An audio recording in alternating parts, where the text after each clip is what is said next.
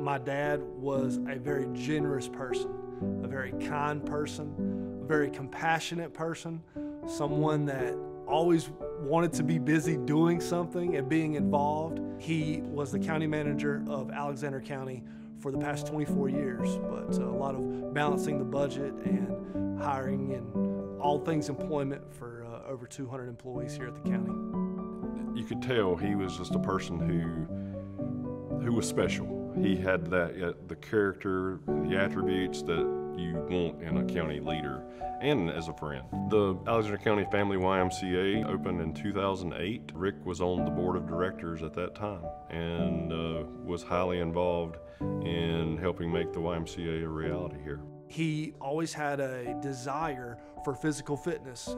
He viewed the Y, not only is this a place for those in the community to come and work out, but you get the social dynamic of it as well. Past 20, 24 years, he supported us in everything that we did, and he just did not want to take the credit for it. He didn't want the recognition. He thought that should fall on the employees and the other volunteers. As far as Alexander County, this location that we're in, this wonderful location, has not always existed. It used, used to be a wild Main Street. As the popularity and the use and the need for the local Y uh, increased, Rick, along with other local leaders, saw a need to do something bigger, something better, something broader in our community. Able to have our own building and be off of Main Street, that was a huge deal for us.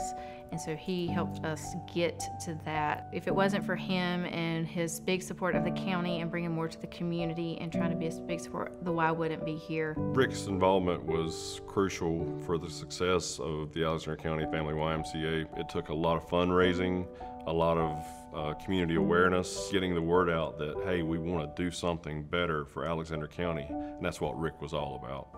And the YMCA is proof.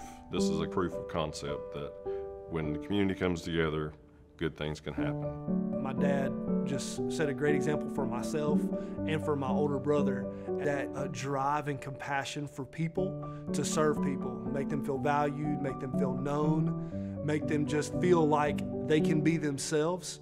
Rick will always be remembered as being a caring individual. Um, I know when we first learned of his passing, um, a friend of mine uh, texted me and said, We lost a good human today.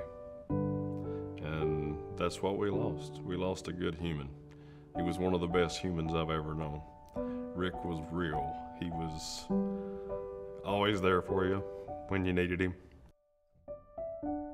Rick is the perfect recipient for an award where volunteers are honored for their lifetime achievements and all the work they put in and for all the years they put in for a while. I think my father, if he received this award truly, would have an uh, amazing list of people that he would thank because you can't receive a award of this magnitude without incredible support from the community to be able to do this. He would say, Thank you for allowing me the opportunity to serve the community in this way and being able to do something that I love to do. Thank you for giving me that opportunity.